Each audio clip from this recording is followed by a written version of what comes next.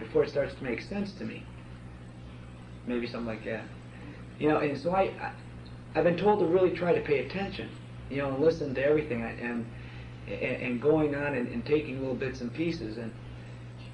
I, I agree with you. You know, I mean, it, eventually. But I read something the other day in the course that says we all have our part in the whole. Yeah.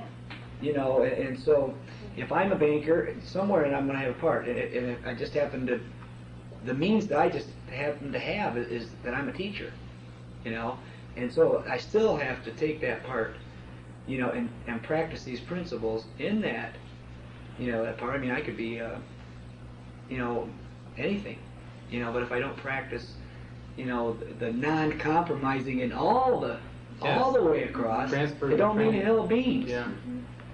You know, It's- to it's me. a- and It's kind of a stepping thing I see too, because in my life, there's one of the early levels of the stages of the development of trust, where it says the teacher of God learns that every situation is helpful, that all changes that take place, all of them, are helpful, and that's yet that's one of the early stages.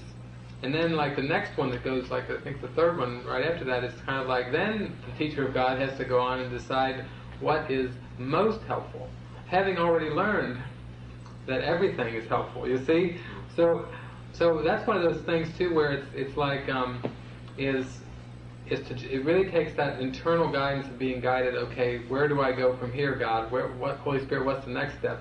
Because people will literally take will take that first step, which is a very big step. That all learning situations are helpful. Doesn't matter if you're on a, a factory line, if you're hang gliding, if you're what, what country you're in. What doesn't matter, but but not to, to get too much anchored to that and use that as a justification. How that works, I mean, there, there was a woman that I know too who, who kind of was like, who had problems at her job and she just, for years it's gone on, you know, kind of like, I'm going to get it, I have to be able to get it at this job. You know, I know it's not the job, I know it's in my heart, so I'm going to stay there, you know, and it's like, I'm to, it's just to be battle year after year after year because I know I, sh- I should be able to get it here. But but that's not how it works either. I mean, there are times when there's a there there's a time for a shift, where in a relationship or a job situation, or whatever, sometimes where the Holy Spirit, you know, we get that internal guidance. It's time to move on. So that's that real fine line there between, you know, not getting so identified with a particular situation or role, and then turning that around and using that as a justification. Mm-hmm. You know, because the ego will do that as well, but just being in touch with that intuitive voice that if it's time to move on. With it, that happens with relationships too. That's the big question: is how do I know whether I should stick it out, you know, with this partner, or or if it's time for me to to move on, you know. It really comes back to the intention. Am I trying to run from something, or am I really being guided on to something mm-hmm. else that's really helpful? I think. Sometimes even our language shoulds, Can't. come, all those, all those qualifiers are just right from the ego. Every time we look at, li- hear those, that's a good place to start examining. It's, it's again a form content. I mean, I've, I've thought, I know that that comes out in a lot of literature, and yet I've gone through the course and I've seen Jesus used the word should. Mm-hmm. So once again, you don't don't make the blanket statements with the word because it's truly the intention, you know, that's behind it. That word should did not mean in Jesus' time what it meant today. I mean, in the course. So he's actually used it in the course. So, so it's it's one of those things about buzzwords or whatever. It's it really comes down to what's my intention. Because if we start to try to use specific words as these are ego words, I mean, I'll give you a good example. There's a line that's in the Bible that Jesus has has used in the course, which is, um, "Vengeance is mine, saith the Lord."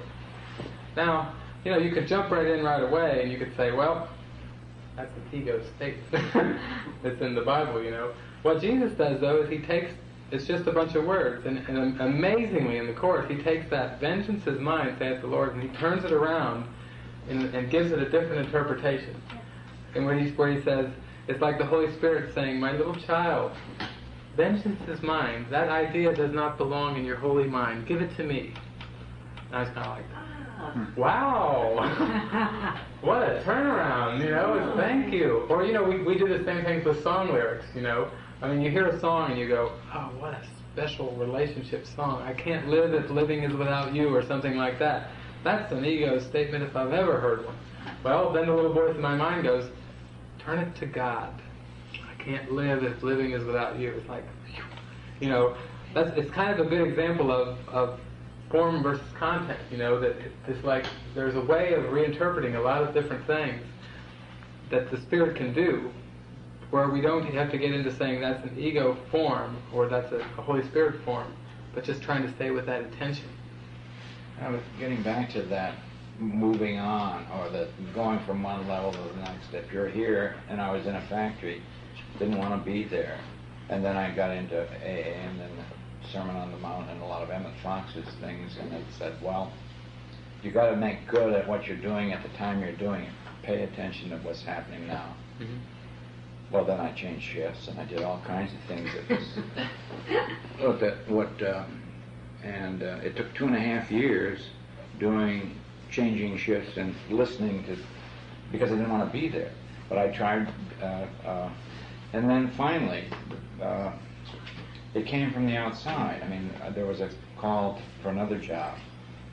And then I realized that I didn't have anything to do with it, although I, I tried to, to deal with the situation at hand. I mean, I didn't make any, I couldn't make any moves. I couldn't quit the job and walk from, uh, because I had responsibilities at home now. I never thought about those responsibilities while drinking, but I, I, but now all of a sudden, I was a new man. The thing I think that the- the mind is so conditioned into forms and roles and concrete that at the beginning it's like that's all it knows. I mean, it's it's you know because my mind is where the, the mind watching and the judgments go in, and so it, it starts to pull away from form and move move more to a, a sense of mind. And, and another way of saying it is kind of like um, like in the Song of Prayer where Jesus talks about um, asking for specifics. And, and in the beginning, that's all the mind, that's the only way the mind can pray. Because Jesus says your prayer is the desire of your heart. And if you believe in specifics, you're going to ask for things, you know. Please help me pay the rent. Please help me get a better job. Please, you know, it's in form, asking for form. Jesus says ultimately that if you keep moving inward and start to ask that question, what is the will of God for me? You start to ask that question in all aspects of your life. You can see how that's a fundamental shift from asking for specifics. Now, it's not to say that there's nothing anything wrong with those early things, because those are all stepping stones. That there's a big thing like I've heard a lot about abundance and, and manifesting and using the power of your mind to bring, you know, certain results, whether it's houses, cars, better jobs, parking spaces, any way you want to talk about it. And what, what we really see when we look at that is that, that that is a big stepping stone for the mind. If the mind believes that it's this powerless little victim, helpless, you know, helpless in the face of the world, that it can be a great witness when you do have that that goal that seems to be achieved, that car, that that house, that money, that so on and so forth. It can be a step to say, gee, I'm not this puny little powerless thing. I do have a mind, and it is powerful. It can be a good re- affirmation of that. And the only thing that the course does is it's like, okay, now, right, you have a powerful mind, and instead of trying to now run with the ego with that and, and get as many possessions and collect as much stuff as you can have to build up your self-concept, why don't you use your powerful mind for a goal as high as peace of mind or eternal peace? And so to me, it's like, oh, it, it's it's all perfect, you know. Even the things, everything that we do along the way is all kind of a step towards coming to that thing of what what is the will of God beyond in everything, you know. Just asking that. And it's just there's a real gentleness and, and ease that comes when I think of it that way, in terms of, you know, the panic of am I doing it the right thing?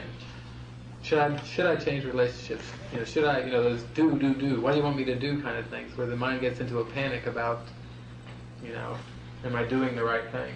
Jesus is kind of saying, are you thinking? are you thinking of the Holy Spirit or the ego? Oh, oh yeah, that's right. That's that's where I'm supposed to have my attention. at my thoughts. earlier about um, uh, living in the now, and the first thing that came to my mind was he said, "How do you live in the now?" And first thing that came to my mind was um, when uh, my son comes up to me and says, "I want to do this with you," and, and immediately I'm right in the now, because a lot of times I'm off doing other things. And I said that was that's the perfect way that I get into now is I'm being reminded by those things in my life that need to be attended to right in the here and now. And when he says that, it takes me right right at that point. That's, that was that was something I thought I'd share because it just came to came to my mind at that point. It, and to me, it runs really deep that question about living in the now because is that the more I looked at the course and I've looked at my my ways of thinking and going about things and the way the world does, it's basically it's assumed that here's the world that the course says is on the screen and that there's causes in the world and there's consequences. You know, you don't water a plant and it's a hot sunny summer, it dries up and dies. Cause sun, heat. Consequence, dead plant. You know, if you don't use birth control and you continue to have sexual activity, you know, cause, consequence. I mean, you know, the whole world is based on causes in the world and consequences. And when you really, when I really have looked at the course, the course is basically saying that the world is just an effect, and that the that it's just as like a screen or it's just a bunch of images that are dancing on a screen, shadows, you know, that are there. But that's a phenomenal idea because it's kind of like it, it totally turn overturns the way we do everything. All of our professions, all of our thinking, and all of our planning, and the way we go about things is based on fear of consequences. In other words, that if I don't do certain things, these things, then these things are going to happen. If I don't pay the rent, or if I don't pay the mortgage payment or everything, ah, eviction, cause, consequence. Now, and here comes the course along, and it's such a radical thing because it's basically saying that that's very much tied in with the ego's use of time. That the ego says, you have been guilty in the past. You know, it doesn't matter. It's just look at the closet full of things that you said you were going to do that you've never done, or that you did that you shouldn't have done. You know, that's that. It's that guilt, and it's basically saying, and you have to pay for that. You know, you pay for it in the future. That's where fear comes in. I mean, that's where the ego's use of time is very fearful. You've been guilty in the past, and you're going to pay in the future.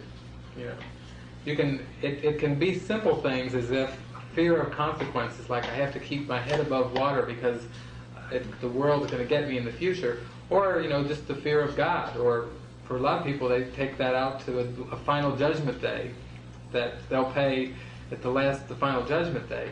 But but when I really started looking at my life, it's like, what would it be like to live with a complete relinquishment of fear of consequences?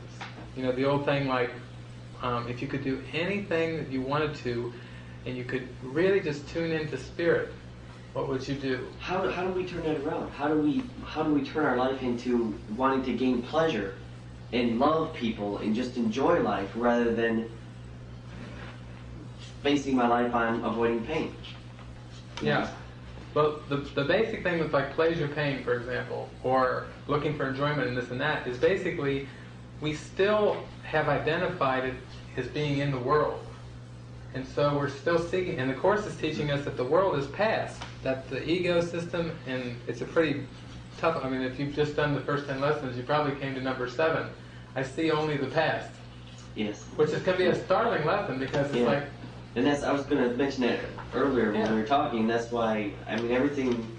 My mind is all based on everything that I've already seen. yes. Everything. And, it's, And that's how I base my future on. yes. In which that's an illusion because my future never turns out the way I ever think it is. my life is a, is, a, is a series of organized drifting with unexpected opportunities along the way. and those unexpected opportunities are pain at times, you know, but they are beautiful and wonderful miracles at times as well.